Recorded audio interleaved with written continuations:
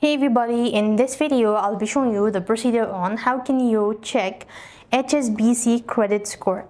So in order to check credit score in HSBC app, you need to follow the steps. Now first thing, you could use an app or a browser. Either way, the procedure will remain the same.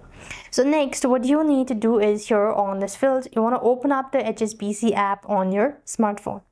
So once logged in, you will then be able to see the home page so from the home page, what you need is you want to go to account or services.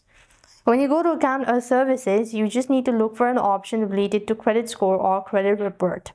Then your credit score should be displayed on the screen. And likewise, if you are unable to see the credit score for some reason, then you might want to consider contacting support team.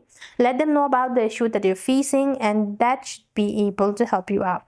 So this is how it works. I hope the video was helpful. Make sure to like, share and subscribe. Thank you for watching. See you in the next video.